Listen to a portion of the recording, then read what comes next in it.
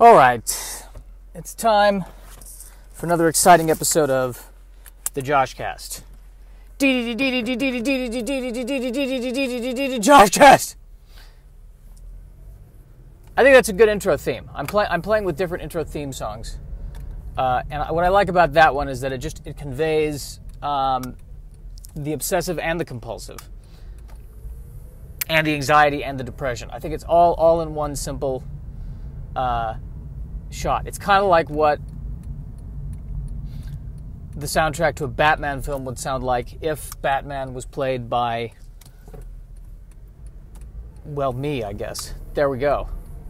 Which, uh, which would be very disappointing for the fans, I think. The whole reason we go see a Batman movie is so that we see someone who is put into a stressful situation and responds with kung fu as opposed to calling an attorney. So I was very gratified uh, to. I, I, so I was very gratified. I'm hating myself already for that phraseology. I'm hating myself for using the word phraseology. All in all, it's, this is good. It's a very self hating beginning for this podcast. Uh, makes sense. Another cloudy day in Los Angeles. The clouds don't help with the depression. Um, maybe I should be a weatherman. That might be fun. Hey guys, another cloudy day in Los Angeles, and there is no God. Hey guys, it's sunny in Los Angeles, and maybe they will buy my screenplay about the first Starbucks in space. Hey guys, it's sunny in Los Angeles, and uh, there is no God. That's really my entire life, what I just gave to you. Anyway, it was cool to see. All right, now when I say it was cool, now that here's the problem with this I'm dissociating my own emotions. It was cool. Well, for whom was it cool? I was excited to see. There we go. There we go. Now I'm owning my emotions. There it is. There it is. Pizza Hut Wing Street. There it is. Pizza Hut and Wing Street.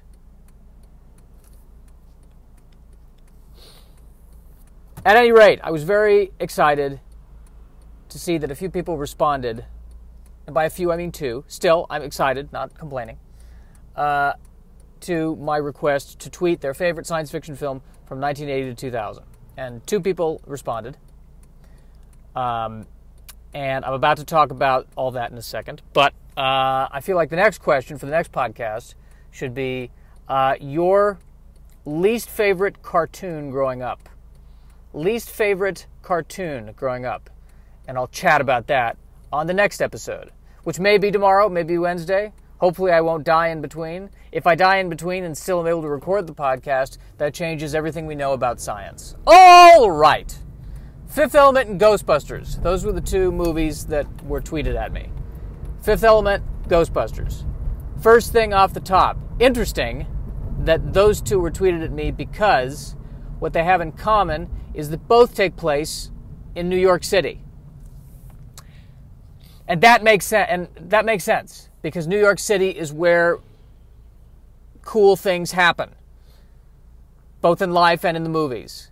I've thought of, uh, this is this was a bit I was actually working on, but it I, I've thought about this that that you want your Ghostbusters movie to take place in New York City because you want the Stay Puft Marshmallow Man to be walking through New York. That's an iconic image that we all have, and the four guys, you know, shooting at him uh, uh, from the rooftops of New York, from I think it was the Empire State Building. You want that. It is difficult to achieve the same visual effect by having the Stay Puft Marshmallow Man attack Aurora, Colorado, where I am from. And this, this is nothing against Aurora, of Colorado. It's nothing against the fine people of Aurora, Colorado. But I just believe that we can all come to a consensus that it is less visually cool to see the Stay Puft Marshmallow Man ransacking the National Western Stock Show and Rodeo at the Convention Center. It's just, it's a little less sexy. Might not, you know, you, got all these scared cows running around. My parents took me to one of those, the National Western Stock Show and Rodeo, and and it was a situation where the three of us were standing there, and I believe all three of us concurrently were thinking, why are we here right now? This is really not our jam. We're not really horse, cow, cowboy hat, metal fence people. That's really not what we're about. What are we doing here? Why is this happening? But back to Ghostbusters. Uh, best thing about it for me, uh, Bill Murray. Because what I love about, I mean, he's obviously funny, but but funny and what I like is that he, it's almost in a way like having the guys from Mystery Science Theater 3000 in the movie as it's happening. Because he's just the way he comments on things as they happen, hilarious. I think it would have been better if Bill Murray had been one of the astronauts in 2001: A Space Odyssey. I think that would have been now you now you've got yourself a movie. Just someone, and I can't do a Bill Murray impression, but just to have somebody just with that kind of attitude doing, all right, come on, Hal. Hal, come on. Hal, I've got my angry face on. Actually, better yet, I want Bill Murray to be inserted into the end of 2001 when the giant space embryo is flying towards the Earth. And I just want, I want him saying, you know, hey, this, that's a space embryo. uh, and I think it'd be even funnier in that particular case if he was holding uh, some scotch on the rocks. Just saying, hey, hey, space embryo. 12 o'clock.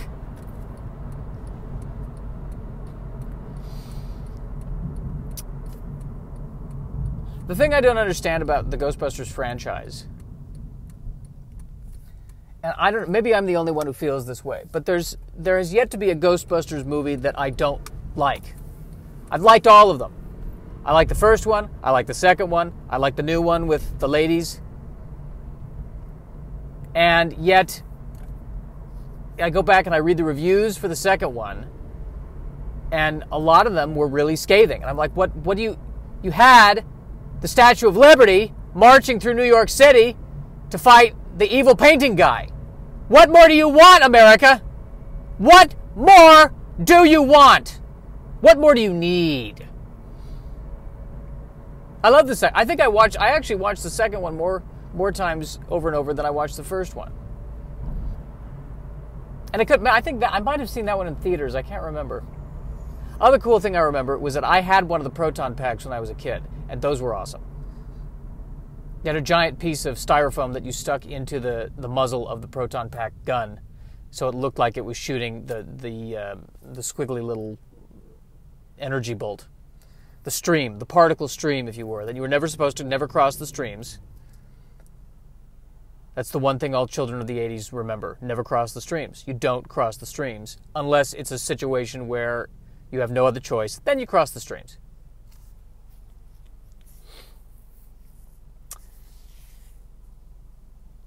I also remember the difference between the first one and the second one is that the first one they were all smoking, and by the time they got to the second one, it was no longer. Uh, I guess smoking had become enough of a health risk Although I felt like everyone kind of knew that smoking was a health health risk by the early 80s. Uh, but I guess it took until the late 80s, early 90s for that to trickle into the social consciousness. Oddly, but they uh, but they were all in the 80s. They were all smoking, but they'd all quit successfully by the second film.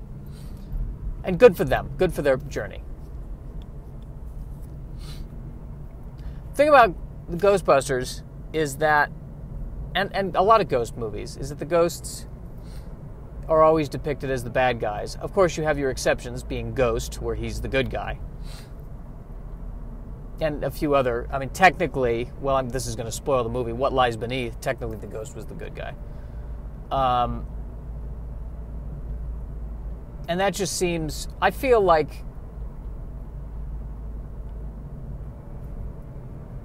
By and large, the ghosts would be way more calm and enlightened and, and rational because they've, you know, the one thing that obsesses me, I think obsesses most people, is death, and now that's that's over.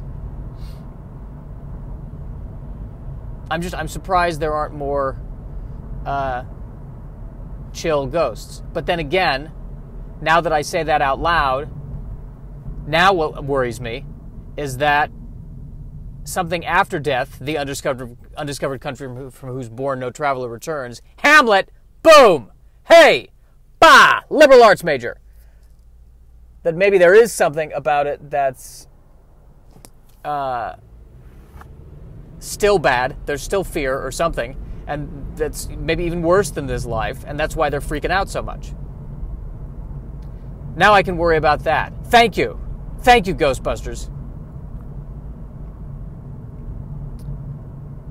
The original theme song to the original Ghostbusters, written by Elmer Bernstein. Not it was used in the in the in within the movie, but it wasn't used as the theme song of the movie. They used the Ghostbusters that theme. But the original theme by uh, Elmer Bernstein. Ba dun dun dun dun dun dun. Ba dun dun dun dun dun dun. Ba dun dun dun dun dun dun dun dun. Bum bum bum bum bum bum bum bum. Bum bum bum. Bum bum bum. Bum bum bum. So that's been a trivia for you on Ghostbusters. Boom. It's out of the park. Ghostbusters. Fifth Element. All right, Fifth Element. Very enjoyable film. I saw that in the theater with my dad. I loved it. I think he tolerated it. I think he liked it a bit. But I don't know that he was entirely thrilled with it. I think a lot of, I, I don't know what his thoughts were. Gotta say, awkward seeing a scene with a woman who's wearing essentially duct tape sitting there with your dad. That's a little awkward. That's a situation where you want to be alone watching it and, you know, enjoying it a bit more. Uh, but still, excellent film.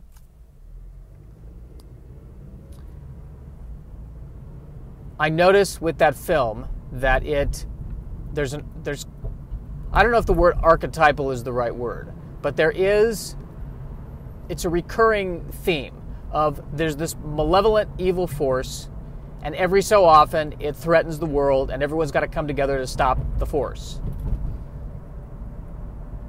But but more specifically than that it's that every thousand years this evil entity threatens the world i think that was what it was every thousand years or every 5000 years and then every time it threatens the world the, the human race has to come together and they have to put the four elements together to create the fifth element and the fifth element destroys it so, my first question is to the evil entity why not change your timeline a bit? Throw them off. Wait, he's here a year early? We're not, we're not ready for this. No, the stones are all over the place. Ah, God. Like it's a really professional, malevolent entity. Second question In the thousand years in between the time the entity is trying to attack the malevolent thing the pure evil.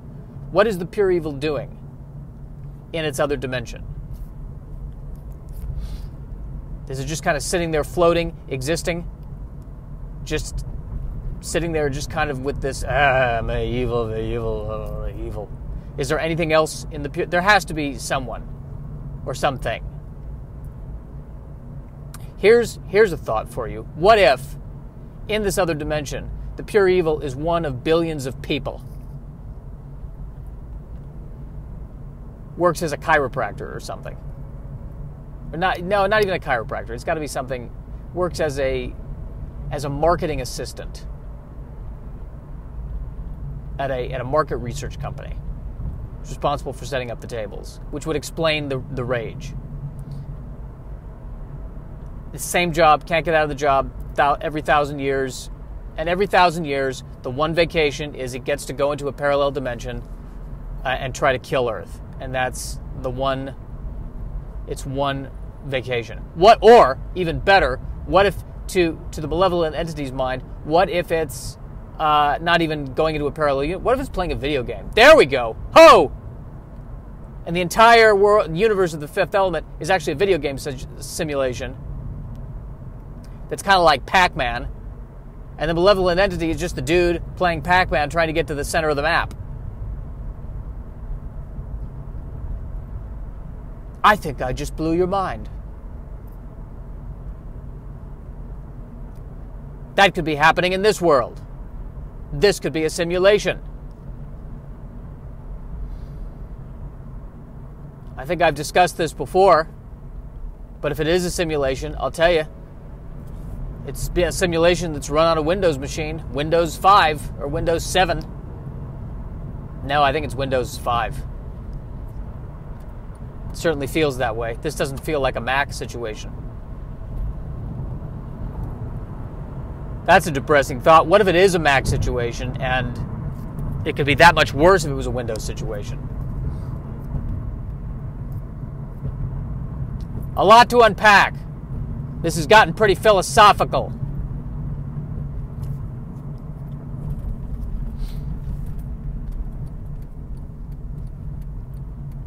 All right, well, I've arrived at my destination, so we're going to wrap this thing up. How do I feel about the podcast? Ah, I'm not feeling good about it. I feel I feel like it it um, I don't feel like I completely opened myself up to the moment. That's what it is. That's what it is. I wanted to be a little bit more open to the moment and a little bit more open to what was was happening. But I'll do this. I'll share this dream. I, I this I, I had this dream. Uh, last night because where I live right now, it's in a location where as airplanes are leaving Burbank Airport, I'm seeing them essentially almost right as they take off. And it's very disturbing to watch it because Burbank Airport, apparently, the runway at Burbank Airport is the length of uh, me.